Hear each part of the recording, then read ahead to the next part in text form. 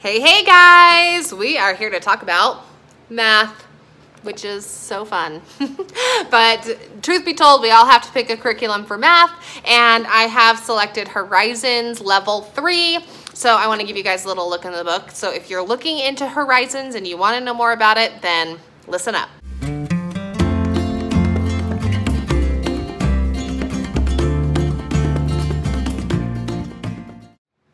All right, friends. So first and foremost, I have to give a shout out to the company that publishes Horizons, which is Alpha and Omega Publications, AOP. They are this curriculum. I have used Horizons level kindergarten, one, two, and now we're into level three. They are the only ones who have withstood the test of time, uh, as it is the only curriculum that I have carried over year after year. So, if you have followed along at all in my homeschool journey since I started this channel back in like 2016 or whatever it was, then um, then you know that my curriculum is very volatile and lots of things I start and then stop for various reasons. But Horizons Math is the only curriculum that we have stuck with through all of these years, and that's actually saying quite a bit. So, a couple of pros. What I love about them is number one, I think that the pace that they use is just perfect. Um, they have a one page lesson and it's front and back. The younger years, it's they have really kind of big font, lots of pictures, lots of colors. So it doesn't feel like you're doing a ton of math. And then as you as your kids graduate into the you know subsequent levels, then that font size gets smaller and smaller. And that's one thing that I definitely recognized with level two and then going it here into level three. And I'll turn the camera around here in a minute and I'll show you. But that font size does get quite a bit smaller, which then of course encourages your student to write smaller and they can also fit more problems onto the page that way. So there is more work, more content here in level three than we have had in previous levels, um, more practice pages and all that kind of good stuff. So pro number one is the length of the lesson and how they kind of approach each lesson each day has been perfect. Now, I have had people ask me before, can my student do two lessons in one day? And the answer, of course, is you know your student better than anybody else. If they're a really good math mind and they love to do math problems, then there is, of course, you could do more than one lesson per day. I have found that for me, and this is just my perspective, is that we just never wanted to do that much work in math in one day especially as we got into level two and i'm assuming it'll be the same way for level three. Um, there's just a lot of problems. Sometimes they'll have as many as 20 problems that they have to do whether it's addition or subtraction. Uh, in level two we were doing like uh, the thousands place so each addition problem was actually four addition problems that they had to do. So Anyway, all that being said is that if you want to do two lessons a day, then nobody's going to stop you. Just do it. Um, but we found it better just to have one lesson per day. So, um, okay, so that's really the pro. The con that I feel, and it's really easy to work around for me, is that I do feel like they have a lot of lessons. So the Horizons 3 curriculum comes with 160 lessons, which is the same as all of the other um, levels have 160. Now, my school year, typically we don't do 160 school days. So there's just a little bit of front loading work that has to happen on the part of the teacher um, and you can decide which which lessons you want to use uh, maybe you want to like cut up cut out a couple of activities here and there and then you know bundle a couple lessons together whatever you can do but i do feel like it is a lot of work that we don't necessarily do a great job finishing everything, like every single problem. So that would be like my word to the wise. If you choose to use this curriculum and you've never used it before, is just to make sure that you don't put yourself in a position where you are in, you're like a slave to your curriculum or you're trying to complete every single problem, every single activity on every single lesson. Because it is rather lengthy and it, like for me, it doesn't fit into my school year. So you're gonna wanna make sure to kind of pay attention to that. Um, Price is always really great. Make sure you grab it on a sale. They typically have sales in the spring and then sometimes in the fall. But you can get these books for a really reasonable price compared to other curriculum publishers. Um, there is no vid video or uh, live lesson that goes with it, which I guess could be a con, especially as you get into these upper levels.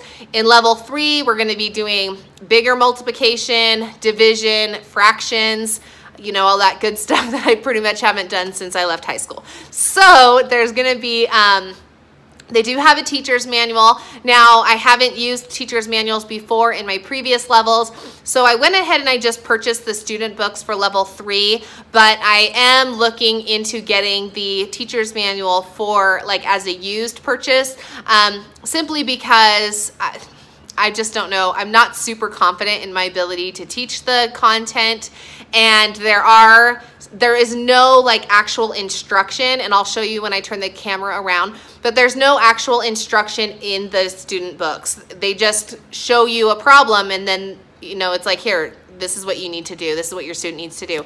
So having some background might be helpful with that and then also figuring out how to teach those different concepts when it comes to fractions and multiplication might be helpful as well.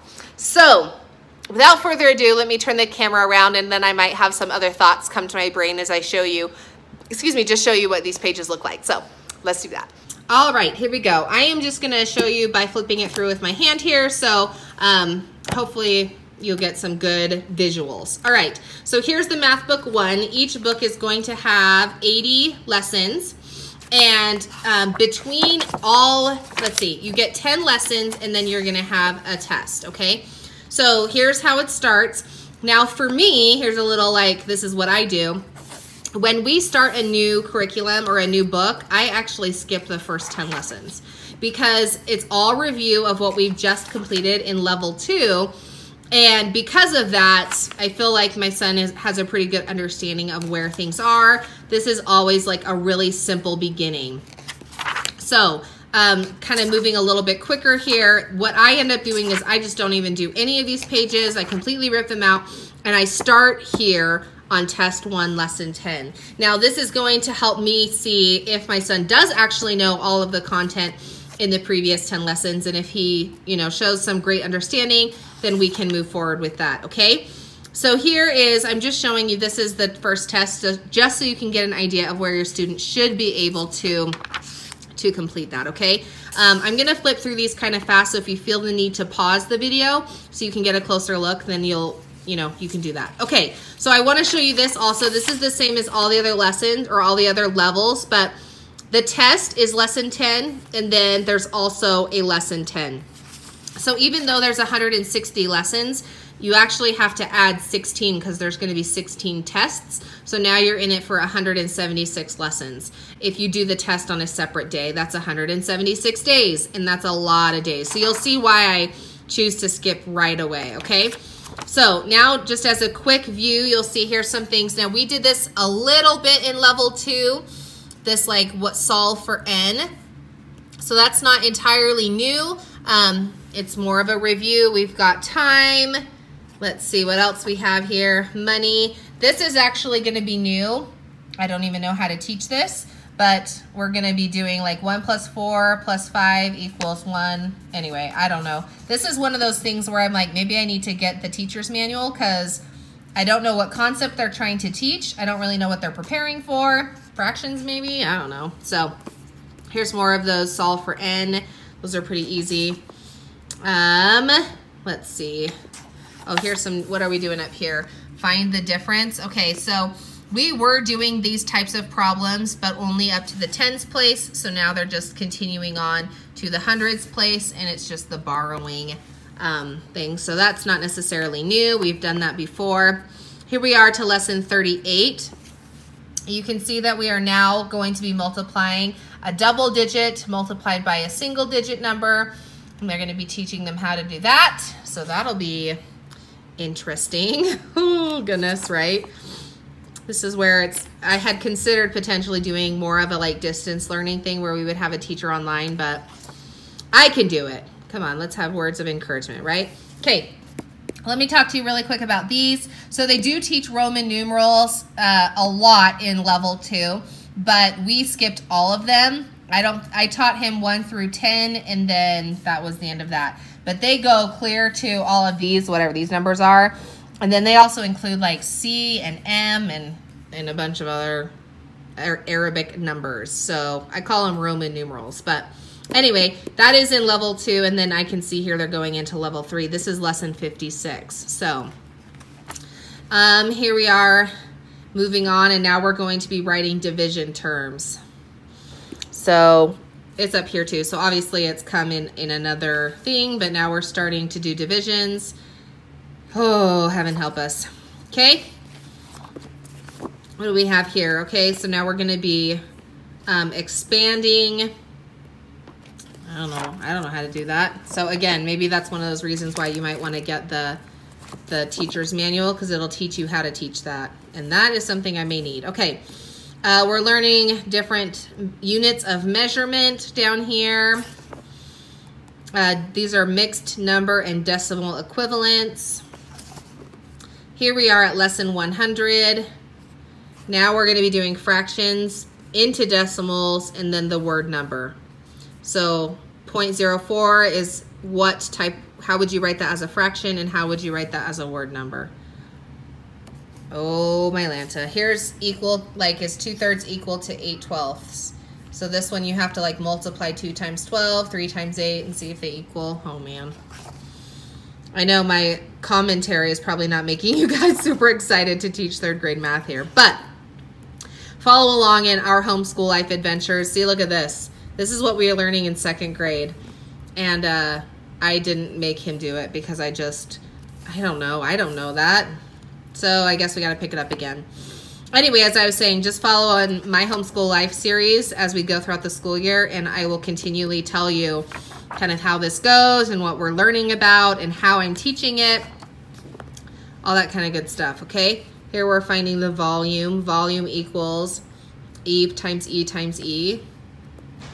Oh, heck. Here's the area. Area equals length times width equivalent numbers. One is equal to some more stuff like that. Okay, then you get to the end. And let me just show you the last. This is going to be test 16, which is culminating. This is what your students should know at the very end, okay? So we're going to round the numbers to the nearest 10 and 100.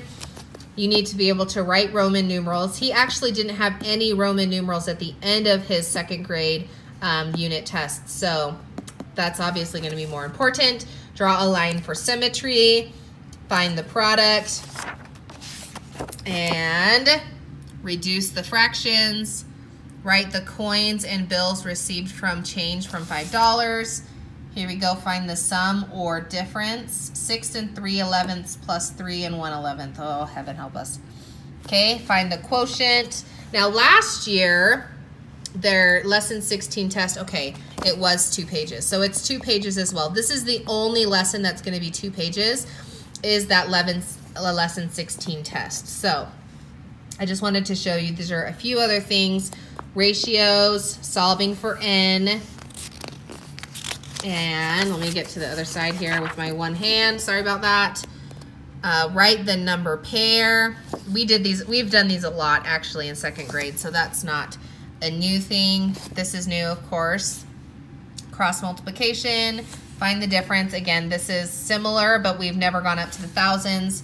And then find the perimeter area and volume. So this will be an interesting year. Lots of things to learn. And I think it'll be good. I probably will end up getting the teacher's manual just because even looking through it with you guys now, I don't know if I could teach that without some instruction on my own side. So anyway, thanks so much for watching this video. Make sure you check my channel for any other content that you might be looking for um, when it comes to homeschool and curriculum. And we'll talk to you soon.